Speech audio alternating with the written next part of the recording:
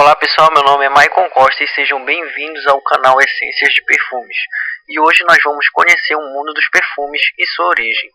O perfume é muito utilizado para garantir um cheiro agradável e duradouro. É uma mistura de substâncias com óleos essenciais e aromáticos, álcool e água. A palavra perfume, ela origina-se do latim perfumo, que significa pela fumaça. Através dessa fumaça, os povos primitivos eles conheciam os perfumes exalados pelas florestas. A elaboração do perfume nasceu no Egito e ultrapassou os limites do tempo das pirâmides.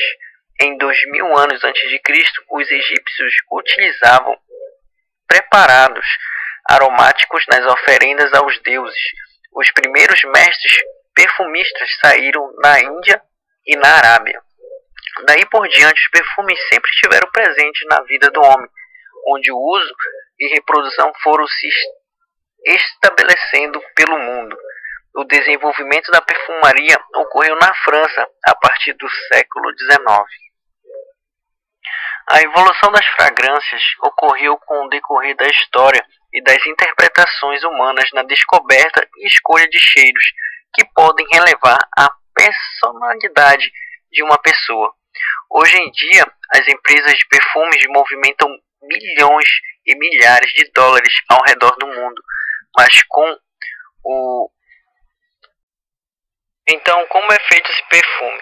O perfume é uma mistura de substâncias com óleos essenciais, aromáticos, álcool e água.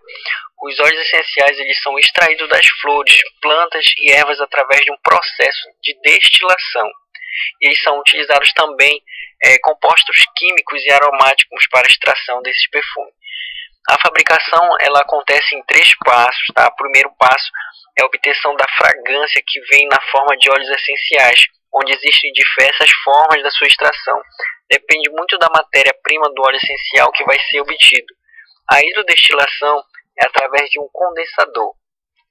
Existe a extração por solvente e outro modo e outro método que é bem antigo é quando a essência é sensível ao calor, que nesse caso é utilizado um processo de extração a frio conhecido como enflouragem, ok? Era utilizado para extrair o aroma das flores em contato direto com a cera, que por sua vez extrai os componentes aromáticos.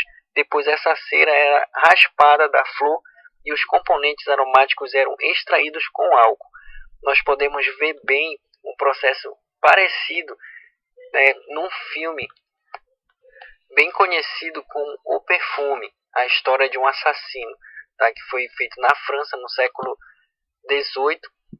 O recém é, é a história de um recém-nascido que é abandonado pela mãe junto ao resto de, resto de vários peixes tá, no mercado. Ele é rejeitado também pela natureza, que lhe negou o direito de exalar um cheiro característico dos seres humanos.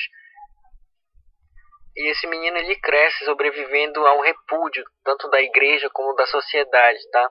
Então ele também tem várias doenças, tá? E ele ainda jovem ele descobre ser dotado de uma imensa sensibilidade olfativa e parte em busca da essência perfeita, tá? Do perfume que lhe falta para seduzir e dominar qualquer pessoa. Então, nessa busca obsessiva, ele usurpa a essência dos corpos das suas vítimas. Ele, atrai as mulheres mais bonitas daquela época, ele passa a cera nelas, né, mata, né? Ele passa a cera nela e tira o perfume, a essência daquela mulher. Então é um filme muito bom, bem recomendado. Eu indico a você, vou deixar o link aqui embaixo na descrição desse vídeo para você poder assistir esse filme, ok? Esse era um processo conhecido como a extração a frio das essências, tá?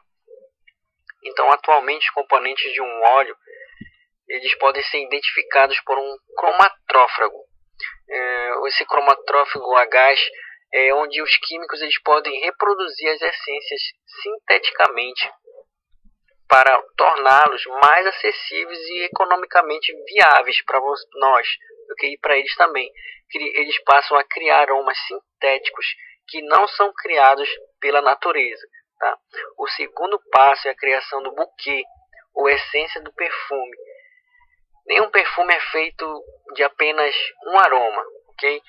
Aí que entra o trabalho do perfumista, tá? É um profissional da área que tem um trabalho de harmonizar as substâncias químicas, naturais e sintéticas dentro de um contexto olfativo. Ele tem que ter um olfato muito apurado para ele chegar ao ponto de é, dar uma característica ao perfume, tá?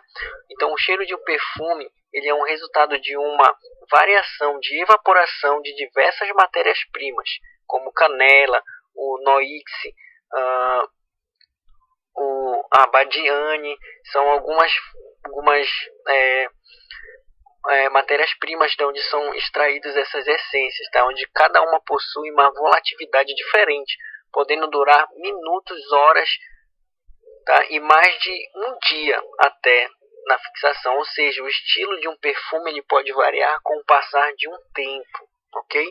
Então assim o perfume se divide em três partes. Existe a nota superior, que fazem parte dela os aromas cítricos e verdes.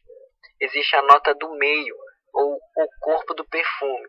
Ele representa a sua identidade principal, Nela encontramos as fragrâncias florais, como rosa, jasmine e lavanda, e as notas de fundo, ou base, né, é a parte menos volátil do perfume, sendo compostas por aromas amadeirados. O tempo que leva para um perfume evaporar depende muito do grau da acidez e oleosidade da sua pele. Tudo isso faz parte da elaboração do buquê, mas o perfume ainda não está pronto e aí nós damos início ao terceiro passo, que é o produto final. Essa essência, elaborada pelo perfumista, testada em laboratório e produzida em escala industrial, é vendida para as fábricas onde uma quantidade pequena do buquê é diluída em, uma grande quantidade de solvente, como etanol e água. Então adiciona-se um fixador com a finalidade de manter a fragrância por mais tempo na pele. Depois é colocado um frasco e a partir daí o perfume vai estar pronto para ser vendido para você num preço absurdo. Agora que você já sabe como é feito o perfume, assista o próximo vídeo para você ficar informado e saber como conseguir as essências para você fazer o seu próprio negócio e ganhar um dinheiro extra, ok? Então inscreva-se em nosso canal e clique no próximo vídeo para você poder acompanhar o processo passo a passo para você poder fazer o seu próprio perfume. Então, até mais, um forte abraço.